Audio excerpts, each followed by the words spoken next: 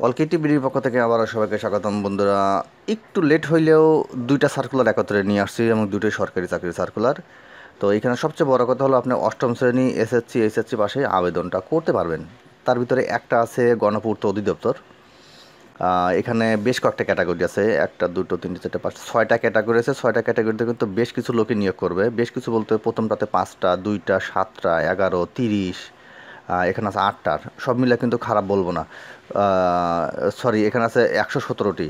তো সব মিলে কিন্তু বন্ধুরা, এখানে দেড়শোর কাছাকাছি কিন্তু এখানে পদ চলে আসলো।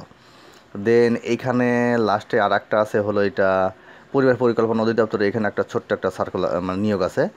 তো এখানে যতগুলো ক্যাটাগরি দেওয়া হয়েছে সব কিছুই কিন্তু জাস্ট আপনি এসএসসি এইচএসসি এবং অষ্টম শ্রেণির পাশে আবেদন করতে পারবেন। আমি সার্কুলার টেন এখন আপনাদের সাথে বিস্তৃত আলোচনা করব। কী কী পদ আছে, কত টাকা বেতন, কীভাবে আবেদন করবেন, সব বলে দেবো, কোনো সমস্যা নেই। তার আগে ছোট্ট রিকোয়েস্ট বুঝতে পারছেন যদি নতুন নতুন সরকার সংক্রান্ত যে কোনো আপডেট মেসেজ পেতে চান, এখনই আমার চ্যানেলটিকে সাবস্ক্রাইব করে সঙ্গে রাখুন। বিনিময়ে আপনারা যে কোনো সার্কুলার আপডেট মেসেজ পেয়ে থাকবেন। তো চলুন কথা লম্বা না কেন সরাসরি সার্কুলার টেন ডিসকাস করি। বন্ধুরা, এই সার্কুলার লিঙ্কটা আমি আমার ভিডিও ডিসক্রিপশনে দিয়ে দেবো। লিঙ্কে ক্লিক করলে আপনারা ঠিক এই অবস্থায় চলে আসবেন। আসার পরে নিচে নামলে সেই সার্কুলারটি পেয়ে যাবেন। তো এই সার্কুলারের পাশাপাশি আপনার ডান পাশে থাকা যে সমস্ত আপডেট সার্কুলারগুলো দেখতে পাচ্ছেন এই সার্কুলারগুলো আপনার হাতের মোবাইল ফোন হলে জাস্ট এই আপডেট সার্কুলারের নিচে, একদম নিচে আপনার আপডেট সার্কুলারগুলো পেয়ে থাকবেন।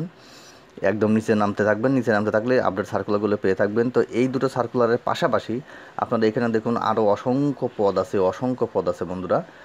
বেশ কিছু গভর্নমেন্ট জব থেকে শুরু করে সব কিছু আছে। আপনারা চাইলে এগুলোতেও কিন্তু আবেদনটা করতে পারেন। তো যাই হোক, এখন আমি জাস্ট এইটা নিয়ে একটু ডিসকাস করি। এইখানে তারা এই গণপূর্তি অধিদপ্তরে যে নিয়োগটা প্রকাশ করছে, তা হলো সহকারী ইলেকট্রিশিয়ান পদ আছে পাঁচটা। আপনার মাত্র এইচএসসি পাশে এসএসসি পাশে আবেদন মানে উত্তীর্ণ হলেই কিন্তু আবেদন করতে পারবেন। কিংবা আপনার এইচএসসি পাস করলেও আবেদন করতে পারবেন। দেন এখানে এখানে সে ইন টোটাল স্যালারি পাবে একুশ হাজার তিনশো দশ টাকা। এখানে আছে পাম্প হেল্পার এখানে পদ আছে বিশটা। সরি পদ আছে দুইটা। তো বন্ধুরা, এখানে সে পাবে বিশ হাজার দশ টাকা স্যালারি অষ্টম শ্রেণির বাসে কিন্তু আবেদন করতে পারবেন। ইলেকট্রিক হেল্পার আছে সাতজন, বিশ হাজার দশ টাকা স্যালারি পাবে। আসলে এখানে প্রত্যেকের স্যালারি কিন্তু বিশ হাজার দশ টাকা, অর্থাৎ আঠারোতম গ্রেডে সে বেতন পাবে। সো আমি এই কথাটা বারে বারে বলতেছি না ওকে তো ইলেকট্রিক হেল্পার আছে সাতজন, অষ্টম শ্রেণির পাশে কিন্তু আবেদন করতে পারবেন। অফিস সহায়ক আছে একশো সতেরো জন। এটা কিন্তু বন্ধুরা অনেক মানে বড় বড় মানে ক্যাটাগরি মানে সাইজই বলতে পারব। তাহলে এখানে লোক আপনি জাস্ট এসএসসি পাস করলে আবেদন করতে পারবেন। নিরাপত্তা প্রহরী আছে তিরিশ জন অষ্টম শ্রেণির পাশে মালি আছে আটজন এটা অষ্টম শ্রেণির পাশে। এখানে আপনাকে অনলাইনে আবেদন করতে হবে। তো অনলাইনে আবেদন দশ তারিখ থেকে অলরেডি শুরু হয়েছে বন্ধুরা।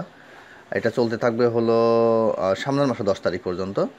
আপনারা এখানে জাস্ট এই ওদের ওয়েবসাইটে ঢুকে আবেদনটা করতে পারবেন এবং আবেদন করার পরে বাহাত্তর ঘণ্টার ভিতরে আপনাকে একটা টেলিটিক প্রিপয়েড সিমের মাধ্যমে এখানে জাস্ট মানে পরীক্ষার ফিটা পেমেন্ট করতে হবে আপনাকে। সেটা কীভাবে করবেন তার জন্য এখানে সমস্ত কিছু বর্ণনা করা আছে, আপনার চিন্তার কোনো কারণ নাই। আপনার জাস্ট সার্কেলটি নামান, নামানোর পরে একটু পড়ুন, পড়ার পরে সব কিছু বুঝতে পারবেন। তো যাই হোক, এটা গেল। এখন আমি দ্বিতীয় নম্বর সার্কুলারে চলে আসি। এটা হলো পরিবার পরিকল্পনা অধিদপ্তরে এখানে জাস্ট অ্যাম্বুলেন্স চালক অর্থাৎ গাড়ি চালক লাগবে। পদ আছে দুইজন, অষ্টম শ্রেণির পাশে কিন্তু আবেদন করতে পারবেন।